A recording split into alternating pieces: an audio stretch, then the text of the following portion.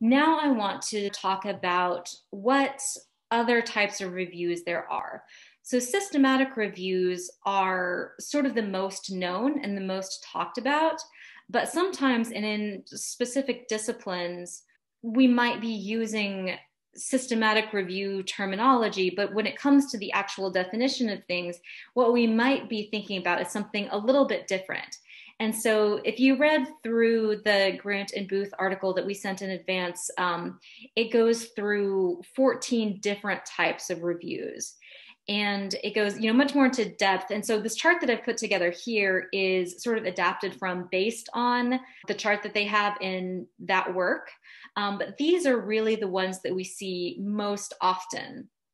And so when you come to a librarian for that initial consultation on your systematic review, we're probably going to talk through what your research question is, what your goals are to determine if a systematic review is really the best methodology, or if maybe one of these other types of reviews is going to fit your purposes a little bit better.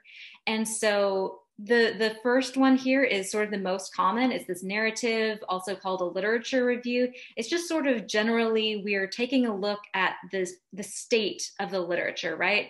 And it may or may not have a comprehensive searching component.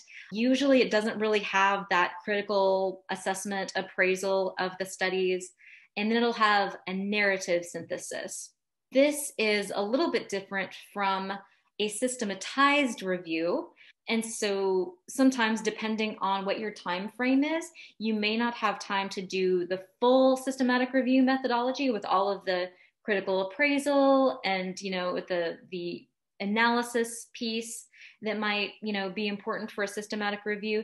And so instead of doing a full systematic review we might recommend a review that is systematized. You're taking bits and pieces from those methodologies to do a systematized review without it being a systematic or a scoping or an umbrella review in and of itself. I personally work a lot with scoping reviews, and a lot of times I find when researchers come to me interested in a systematic review, they're really more interested in doing a scoping review because this is a little bit broader and it's just it's taking a look at the scope of uh, the research that's out there um, and that's not to say that there won't be a little bit of scoping within a systematic review, because that's going to be a piece of a systematic review too. It's just, you know, how much emphasis are you placing on getting an idea of what the state of the literature is out there?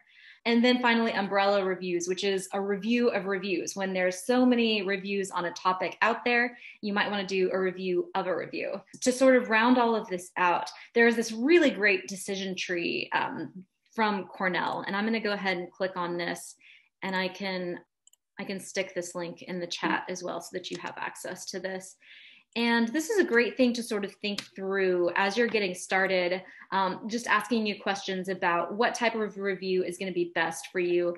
And so as you're thinking through this process, um, feel free to use this. And these are similar questions to what um, librarians will ask you when you come to us asking about a systematic review and if you should conduct one, how to conduct one, all of those things.